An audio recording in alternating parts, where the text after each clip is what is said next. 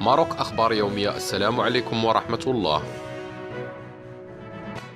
علمت ماروك أخبار يومية قبل قليل أن ملكة جمال المغرب والعرب سابقا شروق الشلواطي قد رفعت دعوى طلاق على زوجها العراقي بسبب الخيانة الزوجية. وكشفت الشلواطي في تصريح أنها تفاجأت عشية اليوم كباقي رواد المواقع الاجتماعية بصور تجمع زوجها مع فتاة أخرى في أوضاع تظهر بعدم براءة العلاقة التي تجمعهما حيث تعرضت لصدمة قوية ونوبة من البكاء مضيفة أنها اتصلت بالمحامي مباشرة من أجل رفع دعوى الطلاق والبدء في الإجراءات القانونية.